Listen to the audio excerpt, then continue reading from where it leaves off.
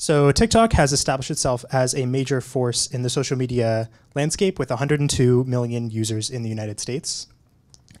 And recently, the app has also been a hotbed of political activity and controversy.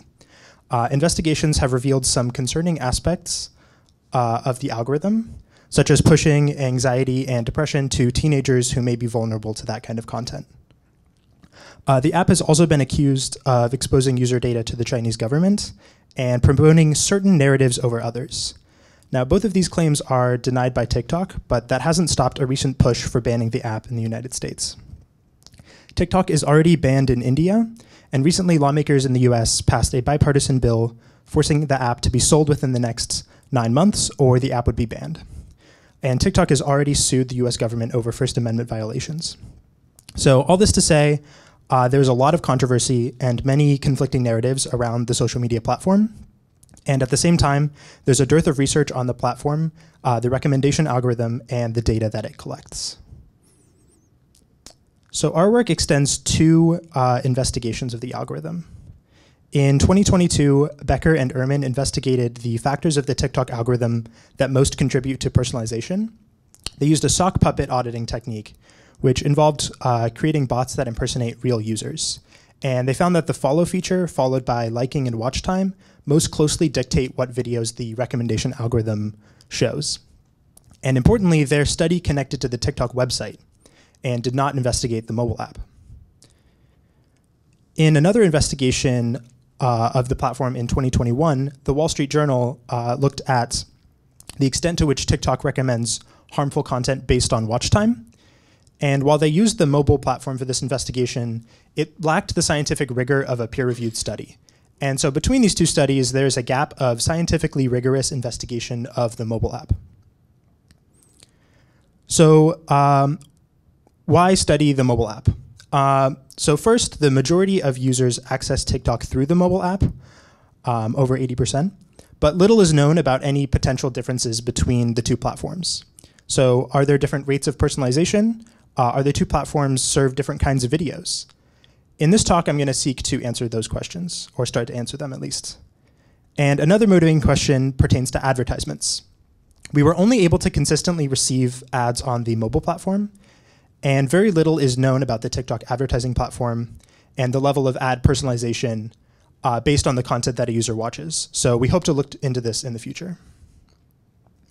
So this leads us to our first research question. How can we study the TikTok mobile app? We want to be able to perform audits that are similar to uh, those that Boeker and Urman were able to do, but instead of using sock puppets on the web, we want to somehow simulate the mobile platform. So to simulate the mobile app, we'll be using Android emulators, which we can launch through Android Studio. And we can connect to them through ADB, Android Debug Bridge, and we can control them through UI Automator 2. So to collect data about the TikToks that our devices are delivered, we can parse the content of the screen. And we can grab the username, we love dogs, and the description, uh, leisure time, hashtag dogs, and so on. And we can also get the number of likes, comments, saves, and shares, which are truncated to, to the nearest thousand or million. However, we can't gather the video's ID, the URL, or the number of times that it's been played. On the website, however, there is a metadata field which contains this missing data as well as a number of other parameters. We can gather this data if we figure out what the URL is, but how can we find the URL? So to answer this question, let's take a look at how the TikTok app works. TikTok sends requests to TikTok for uh, to the TikTok server and receives responses about uh, the data of the videos that it'll be served. Now we want to intercept this, so we can construct a man in the middle to intercept this traffic. The requests and responses are encrypted with SSL, which prevents the end user from intercepting and reading the requests and responses. Now, ordinarily, we would get around this by installing our own custom certificate on the device, but TikTok implements certificate pinning. So it doesn't trust our certificate, meaning it won't allow the transmission anymore. So to get around this, we need to unpin the certificate. Now, luckily, there's an active community that makes code available which modifies apps to unpin the certificate, which we can use to enable us to properly intercept the network traffic. So now we can analyze the responses. And we can look into the responses to gather a list of URLs for each video that's shown to the device. And we can follow these URLs to the website, web page for a video. And we can hit the TikTok website to get the HTML. Now, if we take a closer look in this HTML, we can see this fields, universal data for rehydration.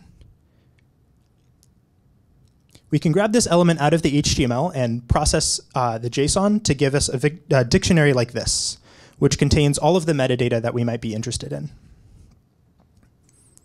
So now we are able to audit the TikTok mobile app. We can gather all of this uh, metadata, and uh, which this enables us to start answering questions about the platform. So we started with this question: How does the TikTok web algorithm differ from the mobile app algorithm? Is the level of personalization the same? and are the videos that it shows to users similar? So to answer this question, we need to figure out how our bots are going to decide to watch a video.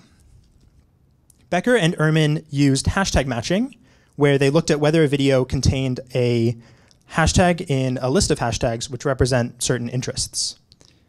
Uh, there are a few problems with this approach, however. Uh, first, not all videos have hashtags, so they would automatically be skipped. And second, some videos may have irrelevant hashtags, which would result in potentially false positives. So we therefore decided to use ChatGPT. We can give ChatGPT a prompt related to some interest. So for example, you are a TikTok user who only watches cooking videos. And we feed it metadata such as the description, hashtags, and the username for a given video. And it will return back the decision of whether it decides to watch the video. So for our experiment setup, we will have two different types of devices. The first are treatment devices, which will watch videos related to cooking as determined by ChatGPT all the way through. And it will skip all the other videos after uh, one to five seconds. And this one to five second range is done to avoid TikTok determining that we're a bot. And the second device will watch no videos all the way through. These are the control devices. And they will only skip videos after that same one to five second pause. So we will have two treatment devices and one control device for each of our types of device, which are emulators and webs. And this allows us to compare the two treatment groups together to understand their similarities and compare those to the baseline control group.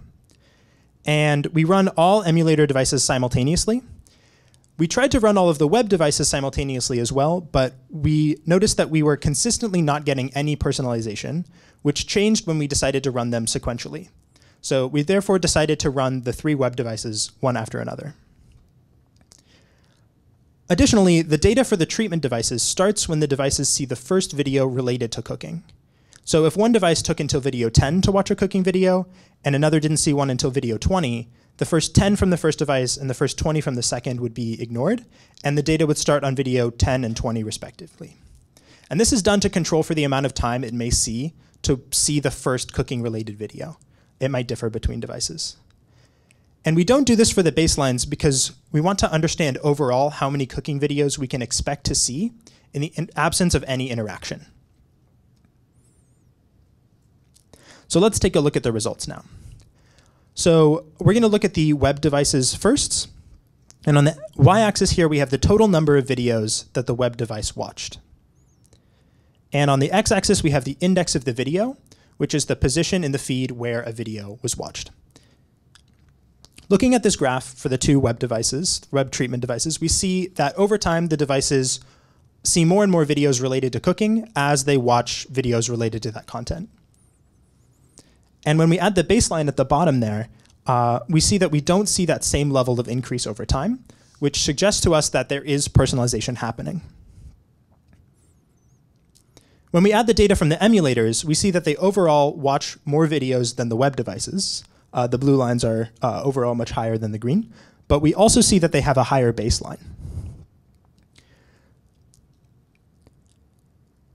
So to be precise, overall the web treatment devices watch an average of 36.5 videos, and the baseline saw five cooking videos, which means that the treatment watched 7.3 times more uh, than the baseline. In contrast, the emulator watched an average of 64 cooking videos, and the baseline saw 21 videos, so that is a 3.04 times the baseline. Uh, but there's this really sharp difference between the baselines, which sort of makes this difficult to interpret. Finally, we're going to take a look at the similarity between the feeds of the devices. We use a cumulative Jaccard index over the video ID, which measures the similarity between two sets. So on the y-axis, we have that Jaccard index, and we note that a Jaccard index of 1 would mean that the two sets are perfectly identical, and 0 would mean they have no common elements. And on the x-axis, we have the cumulative index of the videos. When we look at the similarity in the feeds between our two web treatment devices, there's a lot of noise in the beginning, but we see that overall the feeds grow more and more similar as they watch uh, more cooking videos. And when we compare it to the two emulator treatment devices, um, those devices, we see something similar. The feeds start out very unlike each other in the beginning, and they rapidly grow more and more alike. And we see the gains and similarities start to flatten out, eventually settling into a Jaccard of around 0.2, which is about where the web devices ended up as well. When we look at a comparison of their baselines, this red line at the bottom, we see uh, a Jaccard index of zero. So in other words, we see no videos in the feeds of both the web and the emulator when we aren't watching specific videos. And finally, when we look at comparing each of the web and emulator devices to each other, we consistently see very low similarity. We see some here and there, but the cooking videos and the other videos suggested to the web devices seem to be very different from those suggested to the emulator devices. So taken together, our work demonstrates a framework that enables auditing the mobile app. We also conducted a preliminary study comparing our technique to existing uh, auditing infrastructures, and we find that the web platform does show personalization at similar levels to the mobile platform. However, when looking at content of the videos delivered to the devices, we see high levels of dissimilarity between the feeds of the two platforms, suggesting that the videos a user sees may change depending on the platform they use. In the future, we plan to uh, replicate these experiments to understand uh, whether it's consistent and scrape more than the 250 videos that this study showed. And we're also interested in further exploring these results. Uh, very curious about the reasons that the web baseline is so low and why there's such low similarity between the web and mobile feeds. Our methodology can also be expanded to answer other types of questions, such as analyzing how advertisements are personalized to TikTok users based on the content they watch, and the formation of harmful content rabbit holes and filter bubbles based on watch time. Uh, thank you so much. Very happy to answer any questions.